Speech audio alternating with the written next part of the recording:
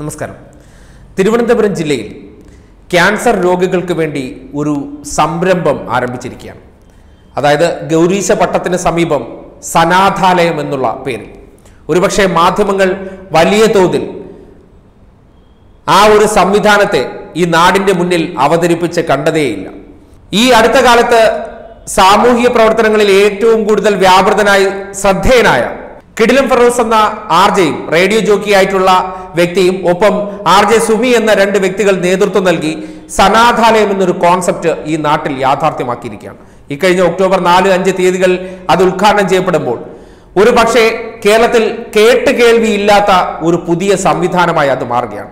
White house എന്ന പേര് കൊടുത്ത് ഒരു സംവിധാനം യാഥാർത്ഥ്യമാക്കുന്നതിലൂടെ എന്തായിരിക്കണം സാമൂഹിക പ്രതിബദ്ധത എന്നതിന് ഒരു പുതിയ പാത വെട്ടിത്തെളിക്കുകയാണ് ഫിറോസും സംഘവും. ഫിറോസിനോട് എന്തെങ്കിലും തരത്തിൽ എതിരഭിപ്രായമുള്ളവർ ഇതിനെതിരെ വ്യാപകമായിട്ടുള്ള പ്രചരണങ്ങൾ നടത്തുന്നുണ്ടെങ്കിലും എന്താണ് ചാരിറ്റി എന്നതിന് പുതിയൊരു സന്ദേശം നൽകുകയാണ്. ഒരു രൂപ പോലും പണമായി മറ്റുള്ളവരിൽ നിന്ന് കൈപ്പറ്റാതെ ഒരു കൂട്ടം ചെറുപ്പക്കാർ ഒത്തുചേർന്ന് അവരാൽ കഴിയുന്ന പണം അവരിലൂടെ സ്വരൂപിച്ച് അത് മറ്റുള്ളവരിൽ നിന്ന് മേടിച്ചതല്ല. അവരവരുടെ വരുമാനത്തിൽ നിന്ന് കണ്ടെത്തിയ പണവുമായി തുടങ്ങി. ഈ സംവിധാനത്തിന് വേണ്ട എല്ലാ കാര്യങ്ങളും സോഷ്യൽ മീഡിയയിലൂടെ പണമായി കൈപ്പറ്റാതെ സാധനങ്ങളായി കൈപ്പറ്റി ഈ പറയുന്ന സനാഥാലയം ഇപ്പോൾ യാഥാർത്ഥ്യമായിട്ടുണ്ട്. ക്യാൻസർ എന്ന മാരക രോഗം. ഒരുപക്ഷെ ഇതിനു വേണ്ടി അവർക്കൊരു ഇൻസ്പിറേഷൻ ഉണ്ടായത് ക്യാൻസർ പോരാളിയായ നന്ദു മഹാദേവന്റെ അകാലത്തിലുള്ള വിയോഗമാണ്. നന്ദു മഹാദേവന്റെ ആ വിയോഗത്തിൽ ഈ പറയുന്ന സൗഹൃദങ്ങൾക്കിടയിൽ ഉണ്ടായിരുന്ന ഒരു വേദന. അത് ക്യാൻസർ പോരാളികൾക്ക് വേണ്ടി ഒരു അനാഥാലയമല്ല സനാഥാലയം. അവർക്ക് എല്ലാവരും ഉണ്ട് എന്ന തോന്നൽ. അവരുടെ മൈൻഡ് അല്ലെങ്കിൽ അവരുടെ മനസ്സ് അവിടെ പോസിറ്റീവ് നിറയ്ക്കാനും ജീവിതത്തിലേക്ക് പടപൊരുകാനും വേണ്ടി അവർക്ക് ഊർജം നൽകുന്ന ഒരു സംവിധാനമായി സനാഥാലയം മാറുകയാണ്. അത്തരം ഒരു പ്രവൃത്തി ഈ നാട്ടിൽ ചെയ്യുമ്പോൾ അതിന് വേണ്ടത്ര പ്രചാരം കൊടുക്കേണ്ടതുണ്ട്. കാര്യം ഈ രോഗത്തിനോട് പടവെട്ടുന്നവർക്ക് മാത്രമേ അറിയൂ എത്രത്തോളം ദാരുണമാണ് ആ രോഗം കൊണ്ടുണ്ടാകുന്ന ദുരിതങ്ങൾ എന്നുള്ള വസ്തുത. അത് തിരിച്ചറിഞ്ഞ് ഒരുപക്ഷെ ഈ കിടിലം ഫിറോസ് എന്ന വ്യക്തി ആർ ജെ ആയിട്ട് പേരെടുക്കുന്നു.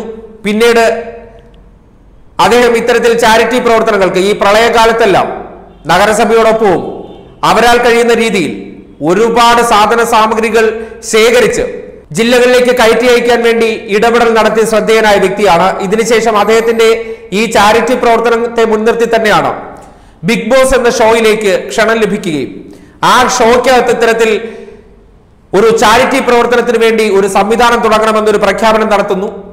ഏറ്റവും ഒടുവിൽ അത് യാഥാർത്ഥ്യമാക്കുമ്പോൾ ഈ നാട്ടിൽ ചാരിറ്റി എന്നത് തട്ടിപ്പായിട്ട് പൊതുവെ ഒരു ധാരണ എല്ലാവരിലുമുണ്ട്. എന്നാൽ അങ്ങനെയല്ല. പണം കൈപ്പറ്റാതെ സംഭാവനകളായി സ്വീകരിക്കുന്നത് സാധനങ്ങൾ മാത്രമാണ്.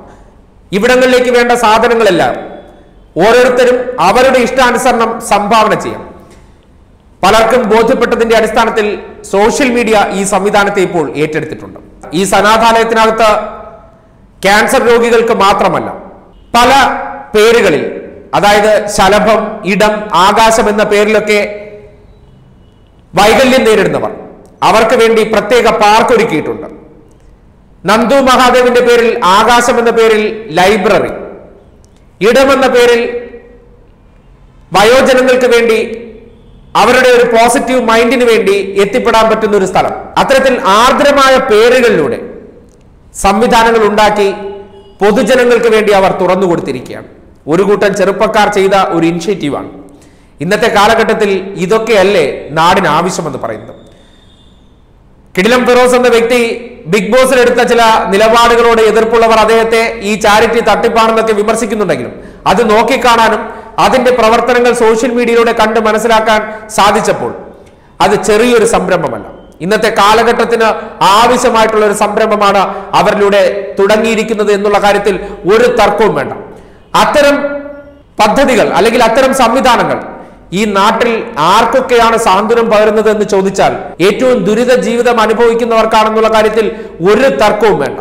അതുകൊണ്ട് തന്നെ സനാഥാലയം കോൺസെപ്റ്റ് എന്ന് പറഞ്ഞാൽ ഈ നാടത് കണ്ടറിഞ്ഞിരിക്കേണ്ടതുണ്ട് അനുഭവിച്ചറിഞ്ഞിരിക്കേണ്ടതുണ്ട്. കുറേയേറെ പേരുടെ ശ്രമഫലമായി അത്തരമൊരു സംവിധാനം തുടക്കമിടുമ്പോൾ അതിനെതിരെ നെഗറ്റീവ് അല്ല. എന്താണ് അവർ അവിടെ ചെയ്യുന്നത്? ഒരാൾ നല്ല കാര്യങ്ങൾ ചെയ്യാൻ സമൂഹത്തിന്റെ മുഖ്യധാരയിലേക്ക് ഇറങ്ങി പരിശ്രമിക്കുമ്പോൾ അവരെ പിന്തുണയ്ക്കുകയാണ് വേണ്ടത്. എല്ലാം നെഗറ്റീവ് കണ്ണിലൂടെ കാണുന്നവർ മാത്രമാണ് അതിനെതിരെ അധിക്ഷേപം ഉന്നയിക്കുന്നതെന്ന് മനസ്സിലാക്കേണ്ടി വരുന്നുണ്ട്. പല പ്രമുഖരും ഇതിനോടകം തന്നെ അവിടെ സന്ദർശിക്കുന്നത് സോഷ്യൽ മീഡിയയിലൂടെ കാണാനിടയായി.